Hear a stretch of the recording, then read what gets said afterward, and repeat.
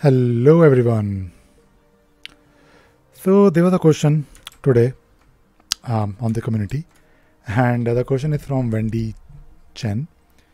And uh, the question is actually very simple and I thought I'll probably create a video to answer this because why not?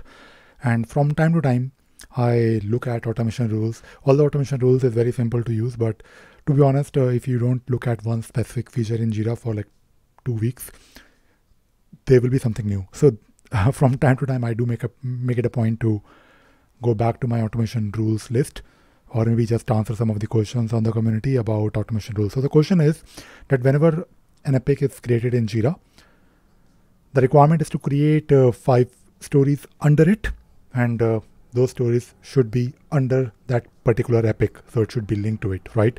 Now, uh, it is very simple. All you need, need to do because using automation rules, you can definitely create uh, issues of a specific type.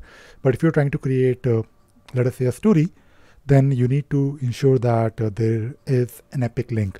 Now, this epic link could be fetched from uh, the epic that you just created, and that is something called as uh, the trigger issue, the issue which is uh, triggering this rule. Now, I have already created this rule for you so if you look at this particular rule, we have here the, so first of all, the rule details. Make sure whenever you are trying to play with automation rules, try to limit the scope to single project, which is my Android project. And then the trigger is uh, issue created.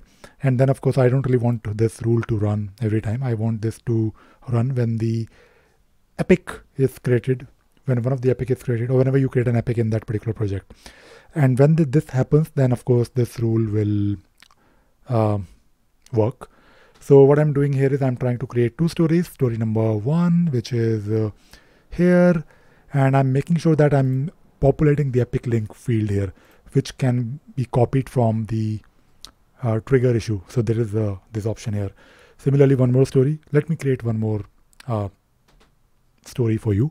So this would be a new action create issue. I want to create the story.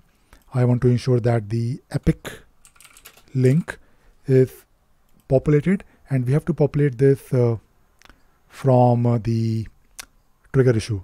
So before that, I will enter here story 3, right? And epic link can be copied. You can of course hard code it, but why would you hard code? we, we actually want to copy it from the trigger issue, right? Now, this is it, right? And you can just save it, publish it, and if you go back to your uh, uh, let us create a let us let us create one epic, right? Why not?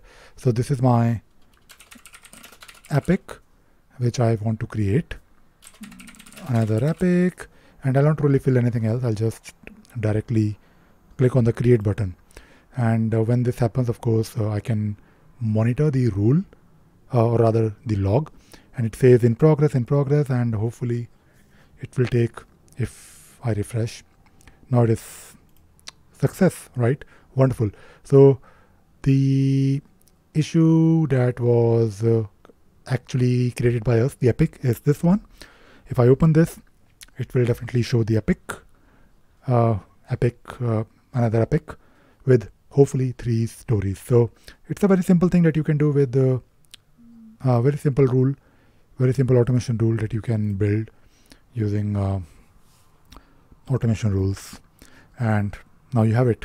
Perfect right? All right. That is all. That is all i wanted to talk about and share in this video. I hope